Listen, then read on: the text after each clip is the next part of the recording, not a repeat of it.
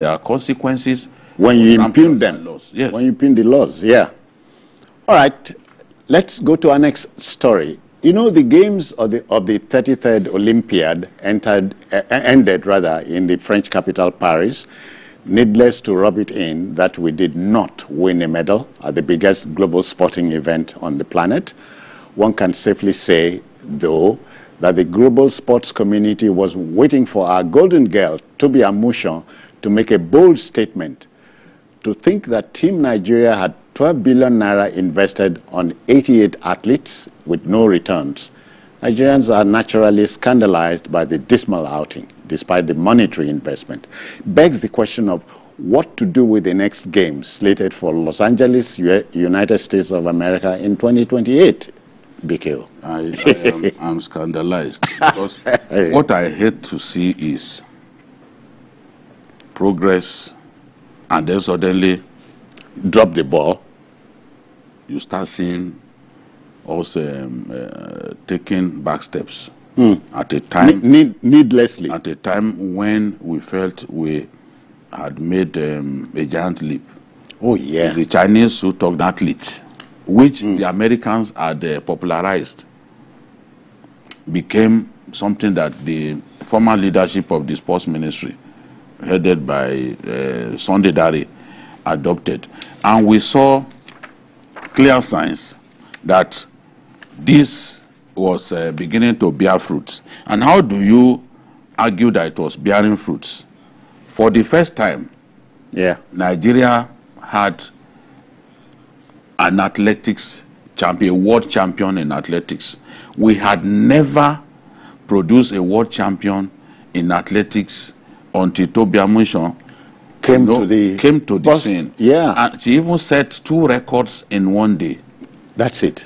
which is At an unusual. two world meet. records. Two world records. Yes. She set two world records in one day, and the whole world was like, ah, Biko, where did this guy come she, from? She, she was waiting for the first Olympics in her life. And we all felt that, okay, this had to be her year. I was reading an interview that she granted. She said, this is my year.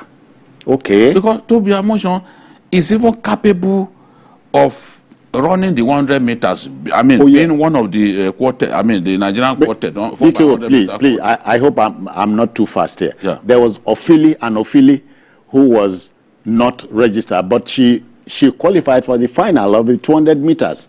So Yes. imagine an Ophili pairing with uh, an emotion and two others for the relays. It, you see, the relays, I think that we did badly in the relays. Oh, yes. And this had been our strength over the Oh, years. yeah, I when we had. Chidi Imoh, when we had uh, uh, the uh, Ezinwa brothers, Eh, when we had yeah. Innocent Egbunike, te- are you who set me? who set an African record uh, um, in the 400 meters. Egbunike had actually contested at Kwaspo 80, and I okay, watched okay. him win the qua- uh, 100 meters competition at Kwaspo 80 for secondary school students.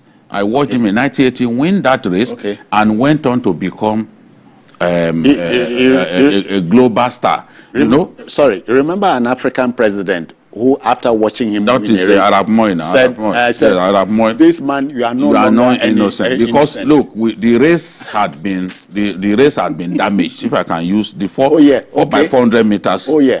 had been damaged.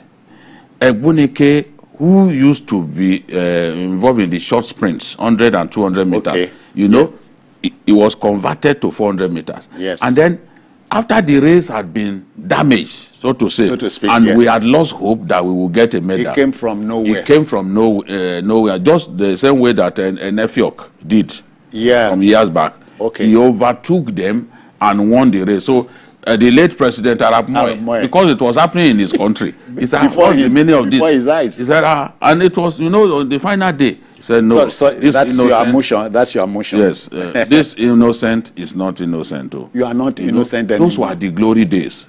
We were clearly the best in Africa in athletics. Now the short sprints where we used to do well, we we now see uh, South Africans, people from Botswana, people from Cote d'Ivoire, you know, dealing with us in the short sprint. yeah. So we can't even say, okay, Nigeria today in athletics, this is where you are today in Ghana, there was the African meet, mm. you know, and we dusted the, Afri uh, the, the continent, everybody, and our teams and so see, on. See, uh, that's what I'm saying, that in the short sprints, mm. we used to thoroughly dominate Africa with the likes of um, Mary Onyali, Tina Iheagwam. Tina Iheagwam uh, and Mary Onyali, they were rivals for the short sprints. Okay. And both of them excelled at World Junior Championships. Yeah. We used to be world champions in 100 meters, huh. you know, at the junior level. Yes. That was okay, how people like uh, Tina Ehiagwam, people like Mary Onyali, that was mm. how they came. They started from the juniors. They yeah. were champions and you know, and the uh, Omolade uh, Akinremi uh, and uh, um, and uh, Taiwo Akinremi. Okay. You know, we have yeah. we yeah. have we have Omotayo and Omolade Akinremi doing the hurdles and doing very well. Today we don't have uh, we don't have good athletes anymore. I, I, I, mean, in terms, I don't. we don't have. I cannot. I cannot forget Olakpade Adenikan. Yeah, Olakpade Adenikan, student of uh, CNS College Ilorin. Yes. I yes. used to watch him as a secondary school student running in those in, uh, invitational relays, and his father was a, uh, a member of the Athletics Federation in Kwara State. Okay. And then they had Coach uh, Momo. Coach Momo brought him up and then when uh, um, uh, the, this legendary coach from Edo State okay. took him up, the, um, um, uh, the Urobo, Tony Urobo, the, the, one of the greatest athletics coaches to yeah. come out of Nigeria, Tony Urobo, yeah, I remember, was the one who further brushed him up, and Adeniken became one of the best in the world, especially in 200 meters. So when we are going to Olympics, we know that in Niger- I mean two Nigerians or three, we will be in the final of the 100 okay. meters. Okay. But today, look at where we are. Okay. Um, uh, Imagine a country as small as St. Lucian producing a, a double double Olympic medal winner. and she made she made a meal of it. You, and you, do you what, blame her? What do you expect? So you look at our country.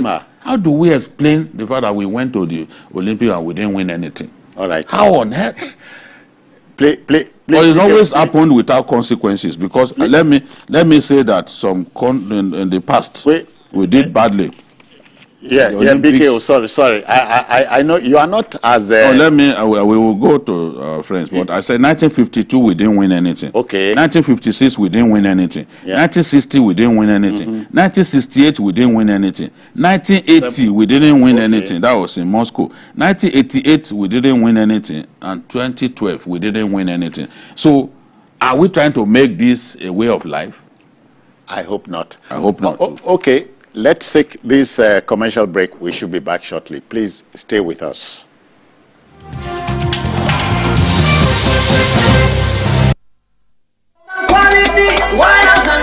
and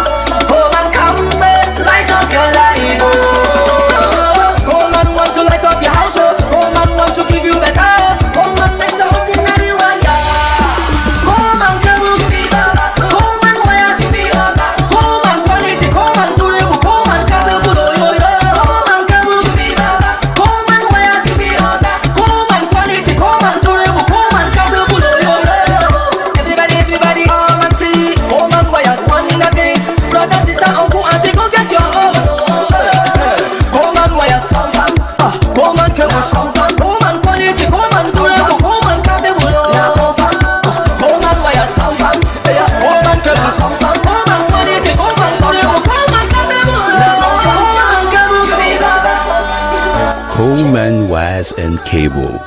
Great quality. Now with the new look.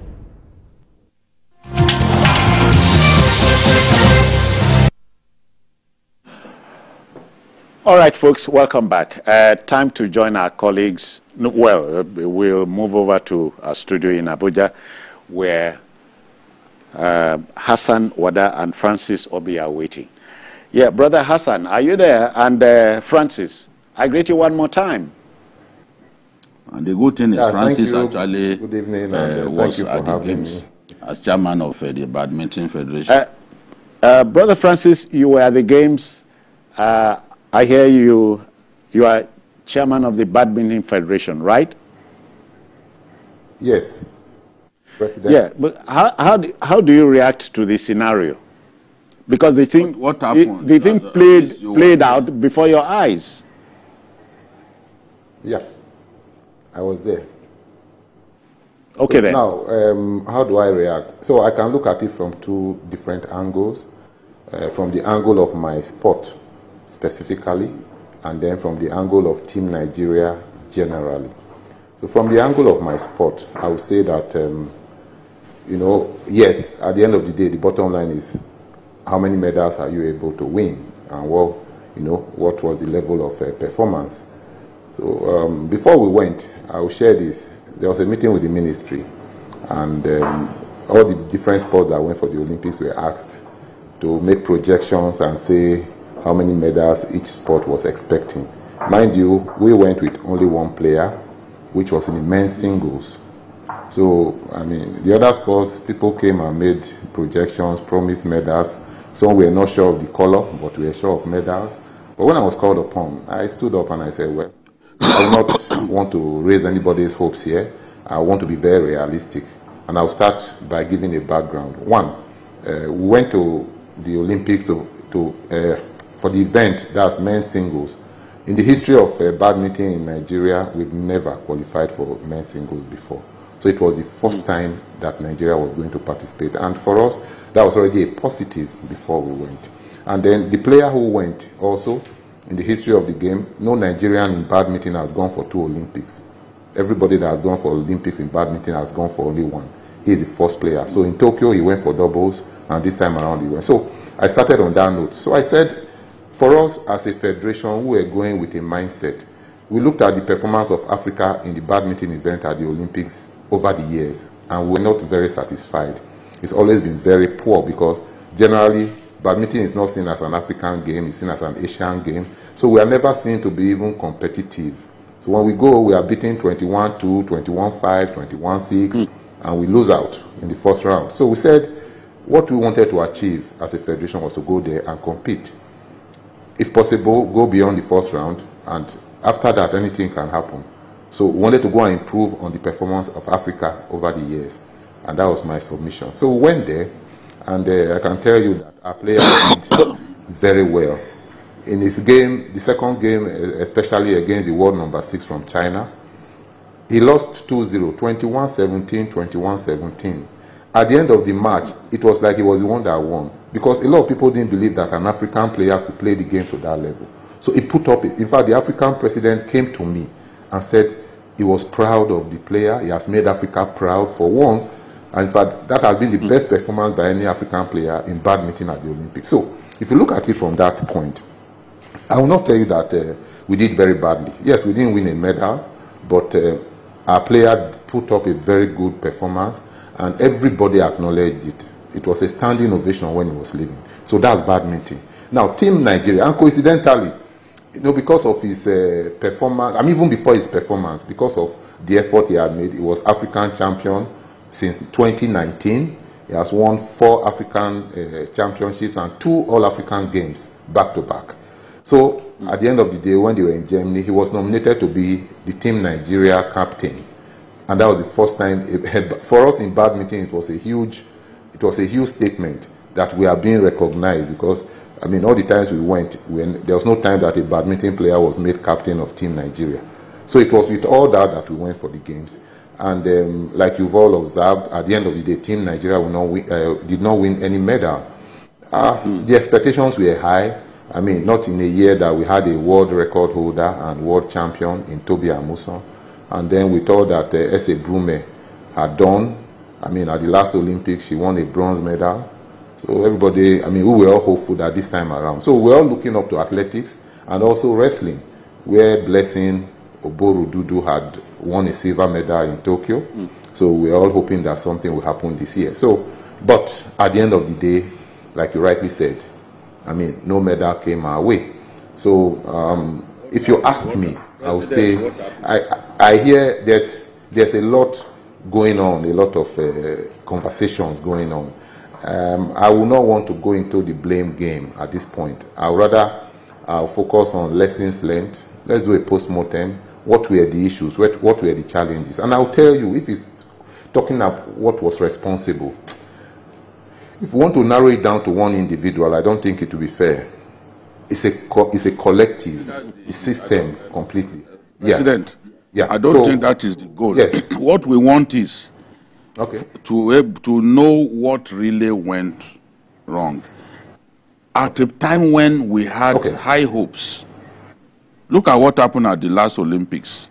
We thought that we would be continue to make progress, but suddenly we had this extremely poor performance, and all of the medal hopefuls, some of them didn't even get to um, the semi-finals or even quarterfinals. Some of the people that we banked on, some of them were world champions. Ade yeah. Kuroye, for example, you know, Ade Kuroye could beat anybody. That was, that was how we felt. But she didn't even. She Okay, won. She won a fight. Somebody, re- uh, the opponent retired due to injury, and then the next fight she lost. Wa- Were these losses psychological, uh, the result of um, uh, inadequate uh, preparation psychologically? Did we have psychologists um, Or, within or, Nigeria working on our or, athletes? or for that matter, uh, motivation, were the athletes motivated enough? We just need to know what went wrong. Okay, so um, if I may say something, I'm happy you asked the question. So were there psychologists there? Uh, You know, unfortunately, I will tell you that in sports in Nigeria, there are certain critical factors that we don't pay attention to and we don't, we don't think are important. So we went to, uh, Germany, uh, to Germany for the camp, and the Indian player who came there for training had up, to how many people in our team? Uh, food nutritionist, sports psychologist, uh, physiotherapist. In fact, about six, seven people, all these taking care of every little need. These are details. But we, I mean, here I can tell you that uh, we had, I mean, there was a, a psychologist who was moving around all the uh, team Nigeria, not dedicated to any sport per se. And if you ask me, I don't think that was adequate. But what would I say for this performance? Um, countries, I can tell you, started preparing for this Olympics three years ago. That's the truth. So we were in Paris, the hotel I stayed. Denmark brought an under 19 team. I think it was handball or volleyball. They were staying in the same- hotel. They didn't come to participate. They came to watch. Every day they went to the venue, and at the end, in the evening, I was observing. They would come, they had a place set up for them, they had a screen. They would play the matches of that day. The coaches would be there analyzing the games with them. My brother, they are preparing for 2028 uh, Los Angeles games. So a lot of times we wait till the last minute, a month to the time, two months. To the, I, I heard somebody say that, um, I mean, uh, we didn't do so much, we, we, we paid so much attention to qualification instead of preparation for the Olympics. But the truth is this, if you don't qualify, you cannot start to prepare for the Olympics. So the first thing to do is qualification. So what the problem is is that we always qualify much later than most other countries. Olympic qualification window is about a year. Once they say, oh, it has started, you play as many qualifiers. But the truth is this, if in the world ranking, like in badminton, if you are world number two, when the qualification period uh, window opens, you are going to start at world number two. So what you do is to try to maintain your uh, position or even get better. Even if you are world number 50, that's where you will start. So if I tell you that preparation started four years ago, it means that over a period of three, four years, you are playing to maintain and the qualification window had not closed. But we did all the calculations of others who were in contention in Africa and what other competitions they had open to them. And we were able to be confident that none of them could play and meet up with him and overtake him. That was when we knew. But until he closed at the end, of, I think early May, that was when it was announced that, okay, he has qualified for the Olympics. And at that Let's- time, let's I mean, you would expect. that. So I will tell you something that as a federation, we started Yeah. our campaign even before the ministry started. Okay, okay. We'll, we'll, yeah. we'll, we'll get back to you when the time permits. But, but let me speak with Hassan, Brother Hassan. Um, Hassan, are you there? Yeah, I'm there. Thank you for having me on the Oh, show. oh, okay, okay. The name Tobi Amusan, I'm, I'm sure must be on your mind as I speak. Absolutely. Uh, uh, aren't you surprised that she, she didn't make a statement? At the games? Well, I won't say I won't say I was surprised. You know, Tobi Amusan is a she's a human being. You know, going into the Olympics, our best chances of winning medals were from Tobi Amusan and Ese Brume. Reason being mm. that Tobi Amusan at this point in time going into the Olympics was probably the hottest 110 meter hurdler in the world. And Ese Brume going by the surprise she pulled at the Tokyo Olympics, everybody anticipated that the experience she would have gained from the previous Olympics would have propelled her to win a medal. But you see, I'm not surprised they didn't make it. You see, at the Olympics, that's where your colleagues transform from athletes to machines. They know that this mm. comes in, uh, Olympics are once every four years. It's not like the annual meets that they have where they can run against each other on se several times. But there are athletes that will participate in this Olympics, and the next Olympics, they will, they will fade out. So when you come to the Olympics, you must come with your A game. You know, in Nigeria, we have the talent, no doubt. But you see, over time, we have not figured out how we want to fund sports in this country.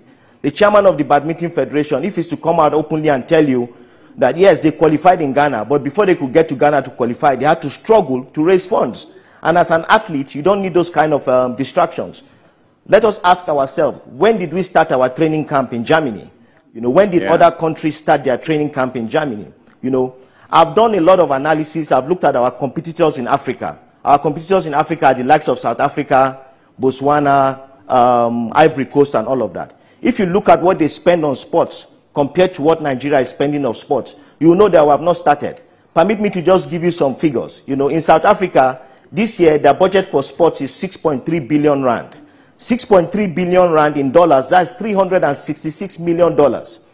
Botswana, a country of 2.7 million people, their budget for sports is what is Nigeria's contribution to their training? Let me tell you, to win an Olympic medal, you need to train 1,000 hours annually for three. You need your athletic trainer, you need the medicals. It's not rocket science. The world has realized that, you know what, sports is big business. So the era of saying you came and pulled a surprise, you shocked everybody, is non existent. We are celebrating our women's basketball team, yes. But how many players on the basketball team were, were groomed in Nigeria? Only one player, Murjanatu Musa. And I know what that girl went through before she got a chance to go and play in Spain. And now she played for Nigeria. As I'm speaking to you, Nigeria doesn't have a playable basketball facility in this country. Yet we are celebrating that Nigeria is ranked number 12 in the world. But we don't have a facility. So while we want to complain and blame the athletes, I always tend to look at it from another angle we must think of a sustainable way of funding sports in this country. Waiting for the ministry will not take us to the promised land. Permit me to give you some models that are being adopted around the world. In okay. Jamaica, they have the Sports Development Foundation. The Sports Development Foundation, they are responsible for funding the federations aside from the other funds that come from the ministry. How do they generate these funds? The lottery in Jamaica, the, the, the taxes from lottery go to the Sport Development Foundation. That way, if the chairman of the Badminton Federation in January says, you know what, my athlete must participate in 20 tournaments around the world, they say, okay, what's your budget? He says, my budget is um, $100,000, $200,000. They said, okay, here's your, here's your budget. You must get results for us. They are not waiting for the annual budgetary provisions from the, from the ministry. Because you know how haphazard budgetary provisions are. In South Africa, they have what you call the South African Foundation and, Olymp and, and Olympic Committee. They are responsible for funding federations. Under that program, you have what you call OPEX, Operational Excellence Program. The Operational Excellence Program identifies their medal hopefuls in the Olympics, and they start funding them four years ahead of time. Some of them, even as far as when they are in secondary schools, they start funding them. So this program identifies the best talents that can win medals for them in the future once they start funding them, they take them off the federations and say, you know what, federations, these are our babies. These are our potentials that will win medals for us. Go and look for bet- more athletes for us. If they fit the criteria, then we will now, we will now adopt them. Yeah, Lastly, bro- let me tell you, any okay. country, just one point, please. One point, please. Any country okay. you visit in the world, the mecca for athletics is what you call a high performance center. Hmm. I've been to the high performance center in Pretoria I've been to several high performance centers in America. Once you visit an, a high performance center, what the high performance center does, it converts you from a human being to a machine. In Nigeria, we don't have a high performance center. The best facility we have here is the National Stadium. I knew mm. Ogazi, Samuel Ogazi, the, he came seventh in the 400 meters at the Olympics. Last year, when he was training for the Trinidad and Tobago, Tobago um, Junior Championship, I was watching him at the stadium there. He was running at the training facility. The training facility there was built in 2002. The tracks there were laid in 2002. The average lifespan of a track is 10 years. We're talking of 22 years later, our, the guy who came seventh in the 400 meters in the Olympics, that was where he was training. We need to do better. We need to think of how we are going to fund sports. Once we sort that problem out, our minister will not be under pressure trying to explain a lot of, uh, a, a, a, lot of the issues to, to Nigerians. Yeah, Brother Hassan, I, at least you are the chairman of the Kogi State Football Association. At the Olympics, we made a statement in 1996, if you remember. So is it, is it difficult to build on that, on that achievement? Is it difficult? The question I'll ask you is, what have we done since 1996? Let me answer the question. Many tend to forget. In 1996, we're coming from a sustained, there was sustained investment in football. We had a coach who had been with us, Clemens Westerhoff came in 1989. He took us to 1994. In 1996, his assistant, Jo Bonfrere, was one who took us to the Olympics. You understand? Mm. And I remember Chioma Ajunwa winning gold in long jump. We didn't expect it. Yes. None of us believed that we could. No one was even watching long jump. Everybody was hoping that we win football. So yes, we did well, but did we make the right investments for Chioma Ajunwa to win gold? I would say no. You understand? But since then, what has been happening is still being the same haphazard way of trying to fund sports. Not until we change the way fund, we, we fund sports in this country.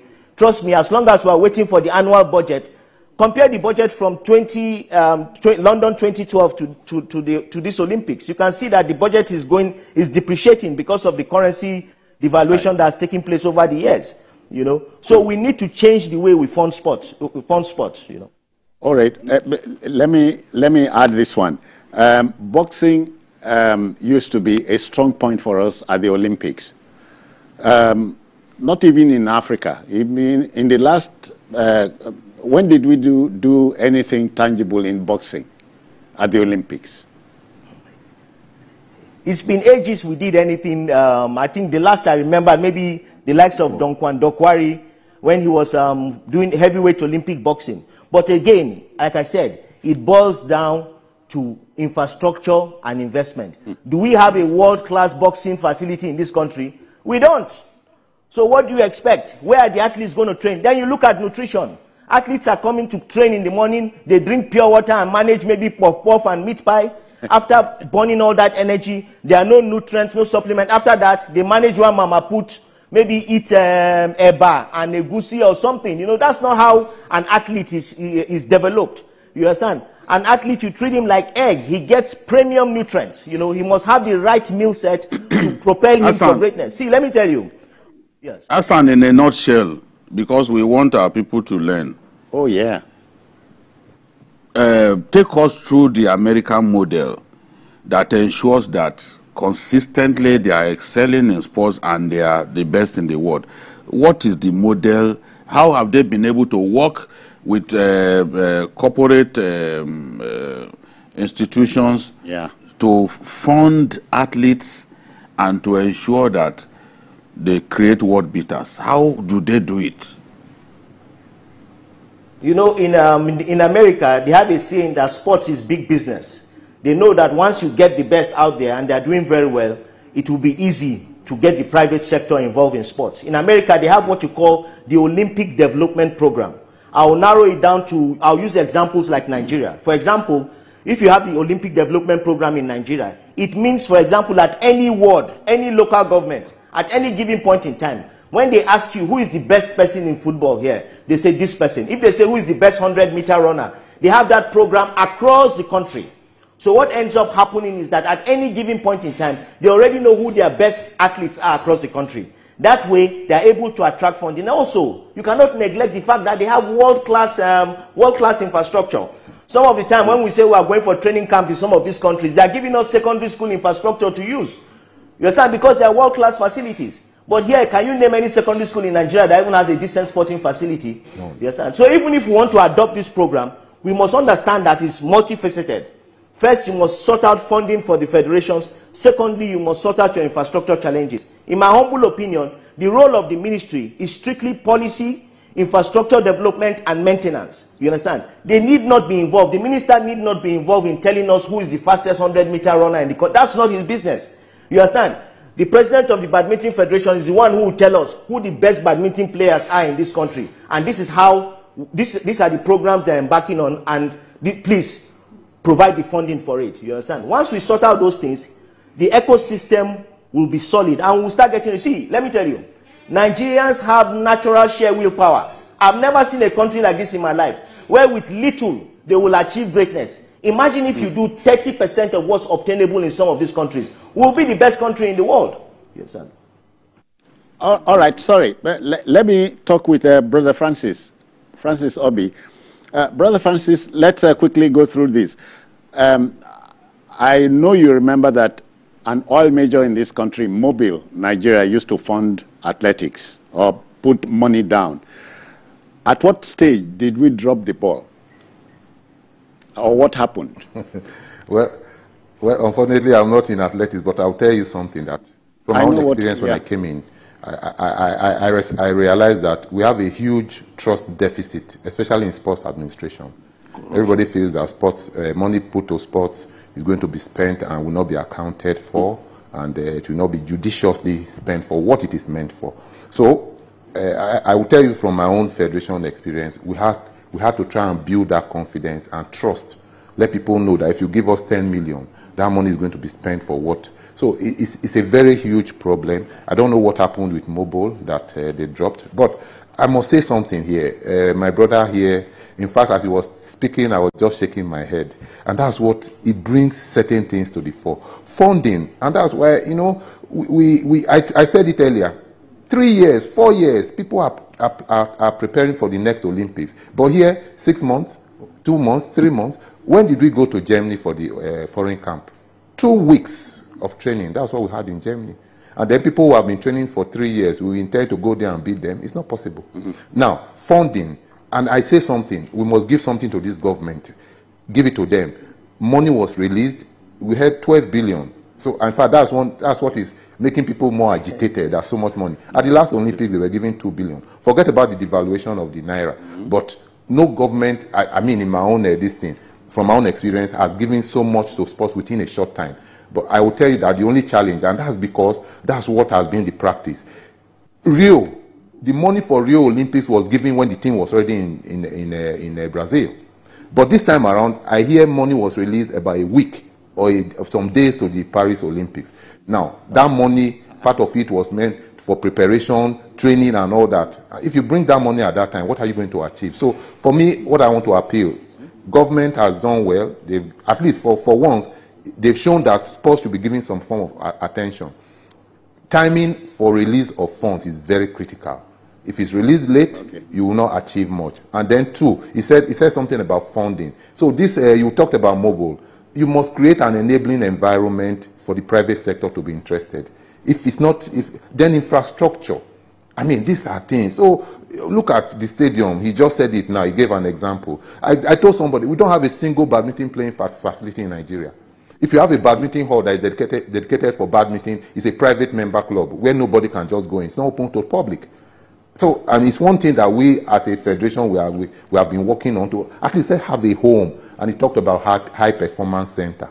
Those are the places we try to send our players to abroad to be able to be competitive. There's none here. There's none in Africa for badminton. Oh, no, Francis, uh, Francis, so, you know, how, um, yeah. do we have uh, a slew of young badminton players that um, uh, we can bank on in the years to come. You know, because I remember the days of Egbeyemi, you know, he was very yeah. popular, he was an African champion, and he reigned for years.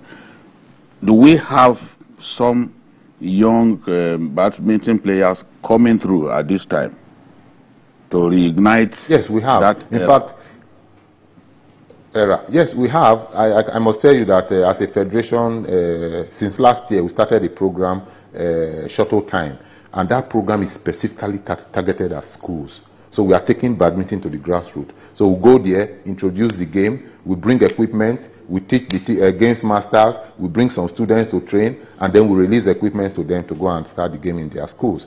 Yes, we started that. Then we have age grade. So right now we have younger players who are waiting. I mean, once Anu is leaving the scene, they are ready to step in. We just have those group under age, under 15, under 19, and that is the only way. But I can tell you something that in the past few years, because if you have these players, you must expose them to competition. And not only within here, you take them to the African, uh, uh, African Yeah. continental uh, competitions to expose them. But if you don't do that, you can play here forever and you think you are good. The next day you go out here, you meet somebody who will just make a meal Thank, of thank, you. thank you, So brother. Those are the. Thank you. Thank, thank you, brother Francis. Uh, I wish you Godspeed as we prepare for uh, Los Angeles 2028. Wish you well. Many thanks as well Thank you to very much. uh, Hassan Wada. Thank you very kindly for your time, sir. My pleasure. Thank you for the opportunity. Okay then.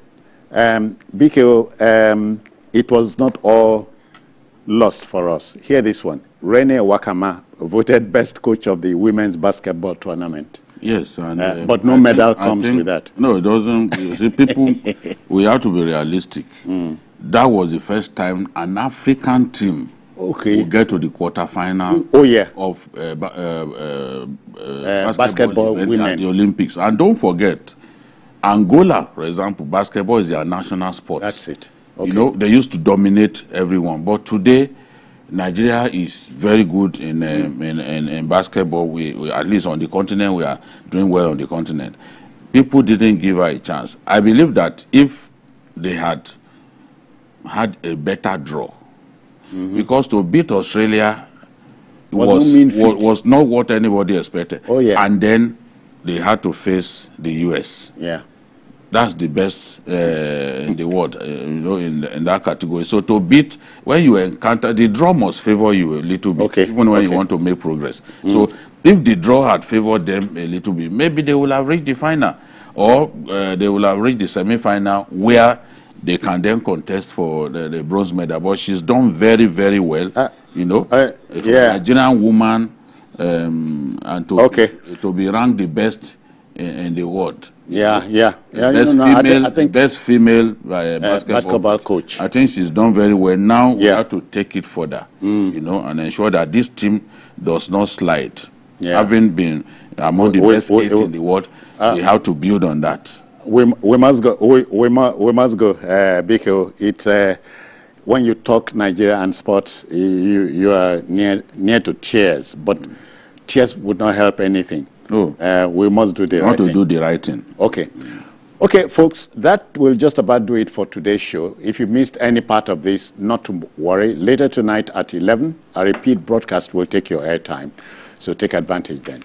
And on Sunday, we expand the field for you for two hours from between 1.30 and 3.30 p.m. Uh, we are also on YouTube at youtube.com forward slash TVC News Nigeria. I am Citizen Jones Hussein. Bye-bye now. Take care.